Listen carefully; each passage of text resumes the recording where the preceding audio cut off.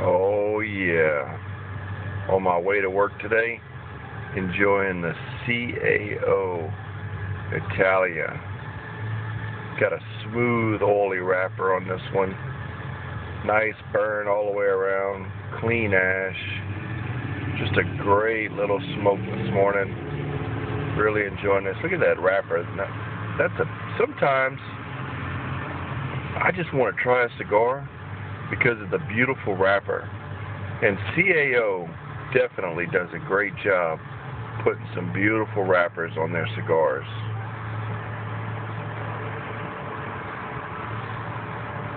This is a little uh, Robusto 5 inch cigar. Enjoying it. Picked this up at Piper's Haven, my local tobacco shop tobacconist and just sharing this in high definition with you guys today. The CAO Italian. Y'all take care and have a wonderful day. We'll holla at you boys and girls later.